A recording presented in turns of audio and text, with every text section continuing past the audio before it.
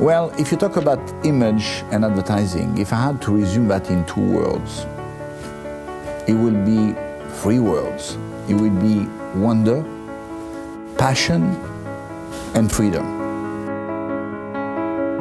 Every story has a beginning and an end. But there are some stories that are meant to last forever. These are the ones that are built on dreams, values, and determination. Well, where did it start?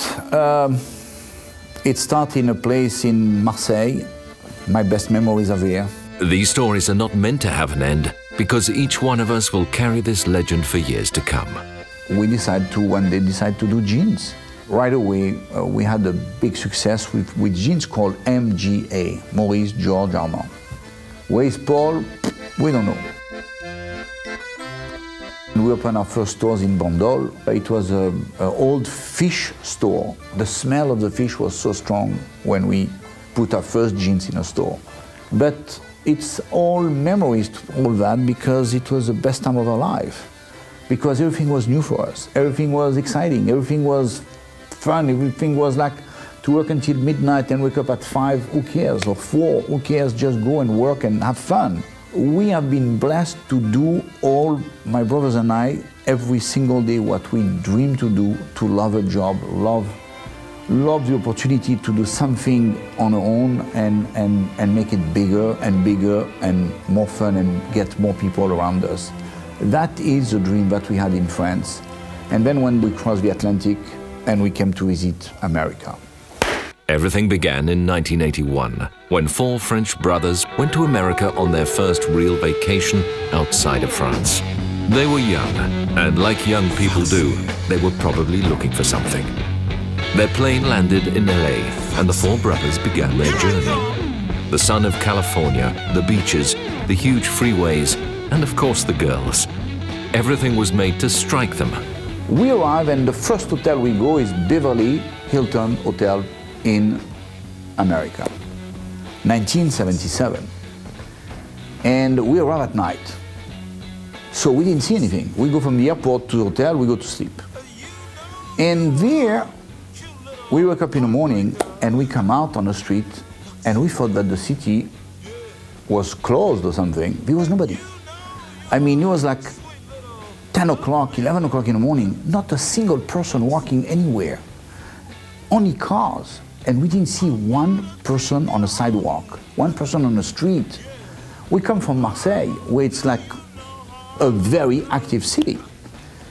So suddenly we walk toward uh, the street of Beverly Hills in in the stores, and it was an incredible, incredible moment for us to see the palm trees, the houses, gorgeous, the street, you could eat on the floor, eat on the floor.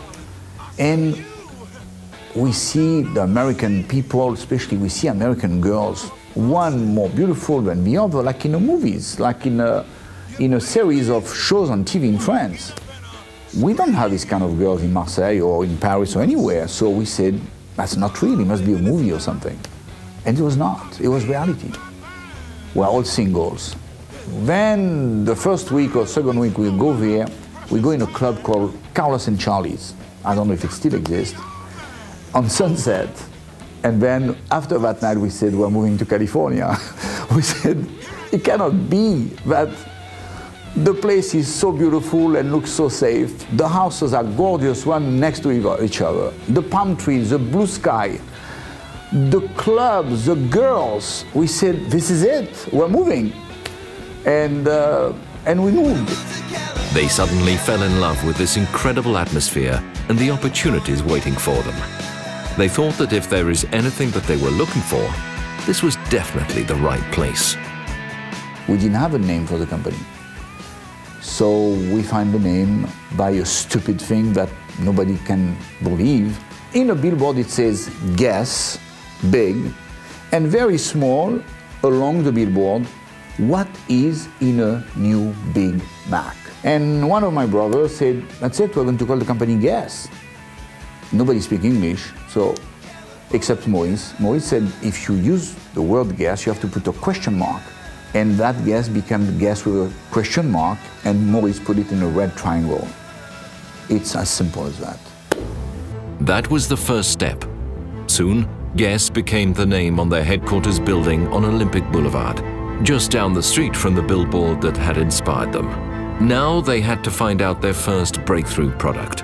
In love with Americana, the brothers chose an American icon to redefine denim fashion. A sexy, slim-fitting, stone-washed, three-zip ankle jean called the Marilyn.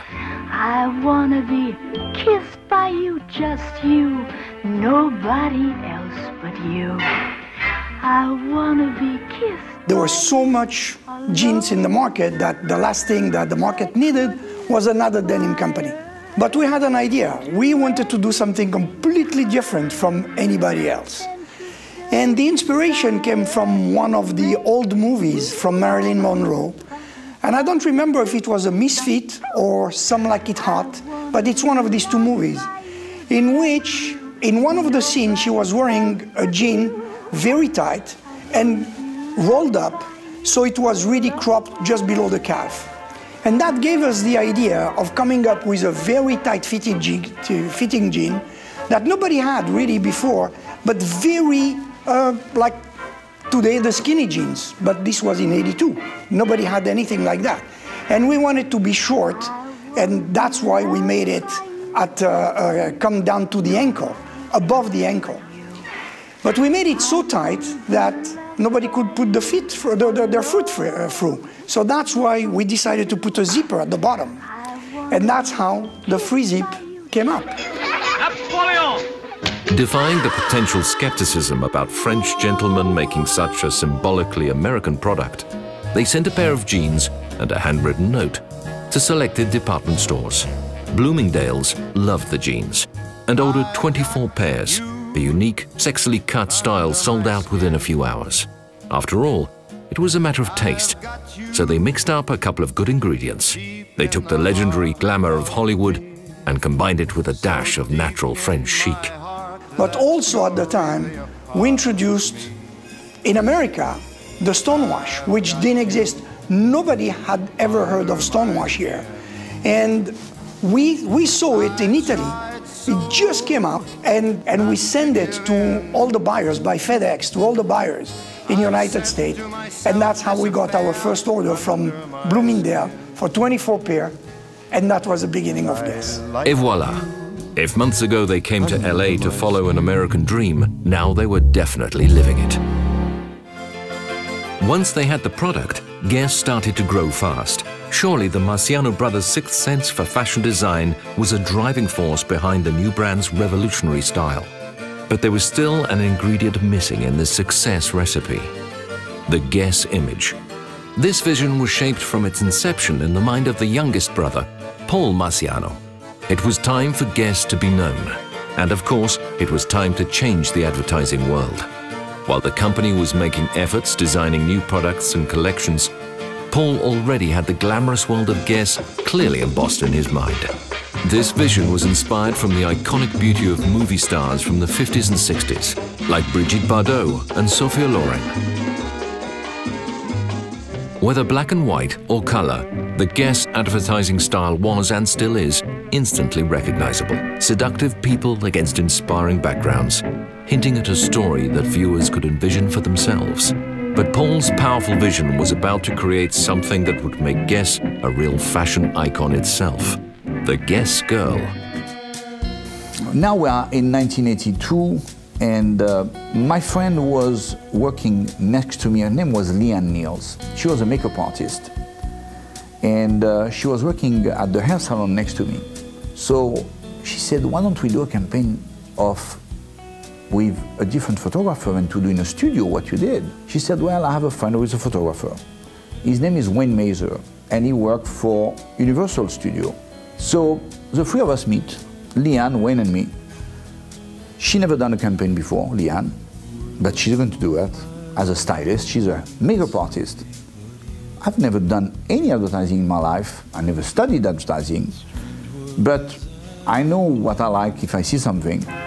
With this strong imagery, Paul Marciano created some of the most iconic images in the history of fashion advertising, for which Guess has received the industry's highest honors, including the Clio and Designers and Art Directors Awards, assuring Guess's place in American pop culture. Once they created a strong brand with strong image recognition, they soon understood the importance of expanding the brand in new categories in order to create a true lifestyle brand. The Marcianos continued their brand expansion as they partnered with key licensees to include watches, children's wear, eyewear, underwear, jeanswear, shoes, accessories, houseware, and a range of other products.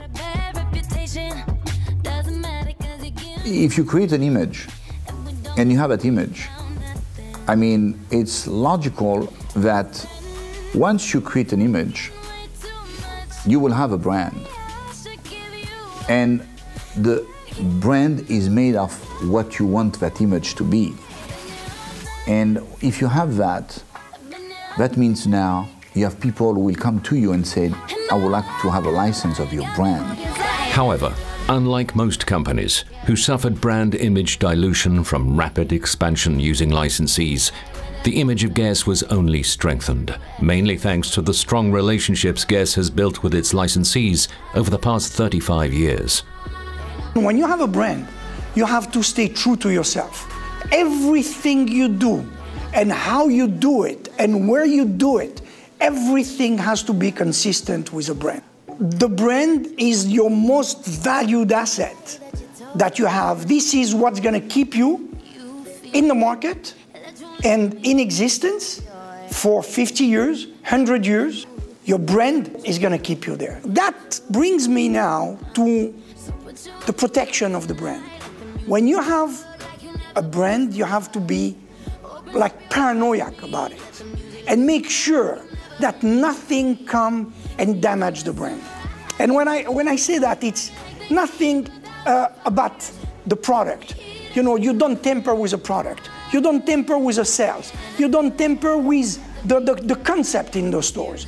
We, you don't tamper with the, with the advertising, with the, with the marketing. Everything has to be geared toward enhancing the brand and not taking advantage of the brand. And that goes for us, that goes for the licensees, that goes for everybody who's touching the brand. With the success of the Guess brand and the product categories, the next logical step was to diversify the business model and expand in new retail concepts that would embody different segments of the Lifestyles brand. From the success in the 1980s and early 1990s, Guess Inc. launched a multi-brand portfolio including Guess 1984, Guess Kids 1984, Guess Factory 1989, Guess by Marciano 2004, Guess Accessories 2004, Guess Footwear 2006, GC 2007, G by Guess 2007, Guess Underwear 2009. How do we do that? We have everything has to be done according to the brand. And it, I keep saying it, it's not all about volume, it's not all about sales, it's about how we produce these sales. And it all starts with a product, then it continues with the advertising and the marketing in order to bring the, make the people aware of what we're doing, how, what we're doing, and then it's in the stores. And the experience that the people, our customers, get into the store, in the stores when they come to the, to, to the Guess stores, is our biggest challenge now is going to be to keep the consistency of the brand, which means that the customer who's shopping here in California is the same customer who's going to shop in Europe, is the same customer who's going to go to the stores in, uh, in Eastern Europe, in Russia, in Middle East, in Asia, everywhere. People are traveling everywhere. But I want the customer to have the same experience. And in order to do that, we need to have consistency in everything, which means the message must be the same, not only about the product, but the way we are displaying the product, the way we are training the people to work in the stores, and that's what's to keep, that's what's to give us the integrity. And when I say integrity, is not just product, is everything. While proving to be a lifestyle powerhouse in North America, Paul Marciano understood the importance of launching the brand internationally. As the company set global goals and strategies, Paul understood that in order to be successful in any particular market, the mindset of think global, act local had to be the underlying principle. Uh, we have, um, I would say, four different, four, four different businesses, okay? Four different brands, basically, but not really brands. Because the main brand is Guess, and that's the mother brand.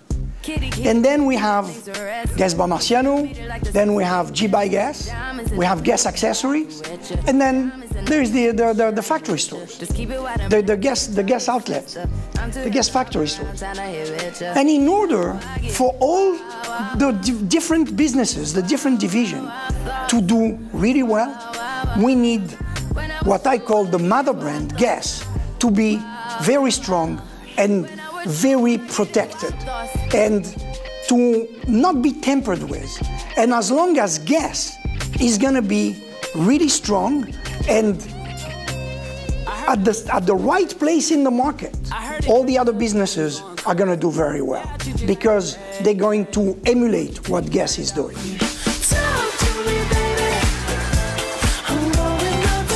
Looking back at 35 years of success and expansion, many may wonder what the future holds for Guess. Although the company continues to expand globally, many countries and territories remain uncharted. The vision is clear. The company goals are to expand in new emerging markets with a strong focus on Russia, Turkey, Northern Europe, China and Japan. The growth opportunities for Guess are everywhere.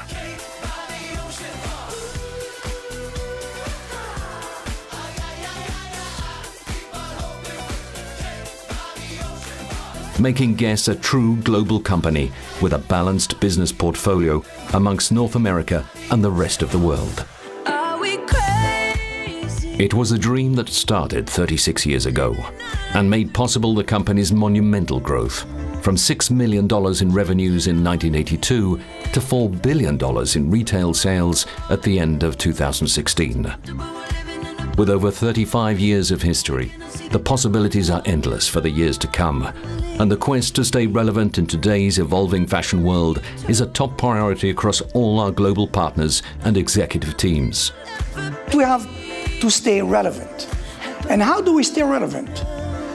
The way I put it is we have to reinvent ourselves, but at the same time, stay true to ourselves. We can never, never lose the focus of who we are and what we stand for and who is our customer and who we are serving basically. And that means that there will be in the fashion industry forever, there's always trends, but we have to be very careful. Not everything is for us. There are trends, so we adapt the trends to our brand. We don't adapt the brand to the trend. So, which means that sometimes we're just gonna pass on things. The image has to be preserved for Guess yesterday, today, tomorrow, and the day would not be here anymore if I don't work here anymore for whatever reason. The brand has to be always, always protected of the image that we took us 30 years to build and to continue for the next 20 years. Because if we did not have that brand, if we did not have that image, all the crises that we went through in 87, in uh, 92, in 97, in 2001, in 2008, during all the meltdown, we could have crushed and disappeared and go bankrupt. We did not because we had this most important asset of the company of the history of the company, which was a brand, which was an image. If you start to focus and make your campaign just as a product, you will become like anybody. You can do all the campaign you want. If the product is not right, the customers will not come in your store to buy things that they don't want. So, but we had always some incredible novelty, uh, development, washes, uh, silhouette, uh, sexiness. I mean, it's, it's, it was a magic moment how Guess grew and evolved one year to another, one decade to another. If I had a, to think about 30 years now, how the next decade will be, the decade after that will be, it will be to don't to look at our values as a value, personal values card that we have, all of us.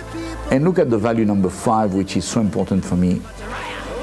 Don't ever forget your roots on anything. If it's about you personally, if it's about your family, if it's about your friends, if it's about your company, if it's about your brand, don't forget your roots ever.